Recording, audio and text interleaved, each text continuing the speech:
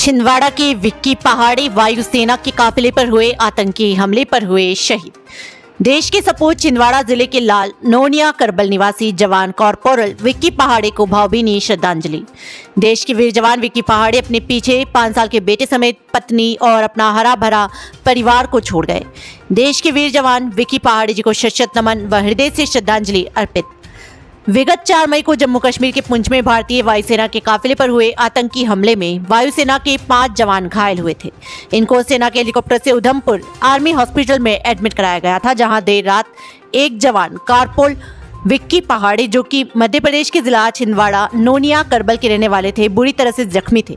उन्होंने अपना सर्वोच्च बलिदान देकर शहीद हो गए। पूरी वायुसेना और देश को उनके शौर्य और पराक्रम पर गर्व है। शहीद जवान कॉर्पोरल पहाड़े अपने पीछे एक पाँच साल के बेटे, पत्नी व अपने परिवारजन को छोड़ गए हैं। यहाँ हम आपको बता दें कि पहाड़े घर के इकलौते बेटे थे। विक्की पहाड़ी की ज्वाइनिंग 2011 बेच एयरफोर्स पर हुई थी। इनका जन्म 1 सितंबर 1990 को हुआ था। इनके पिता स्वर्गीय दिमाग पहाड़े, माता दुलारी पहाड़े, पत्नी श्रीमती रेना पहाड़े और बेटा हार्दिक पहाड़े और इनकी तीन बहनें, वंदना, विनीता और बबीता भी हैं।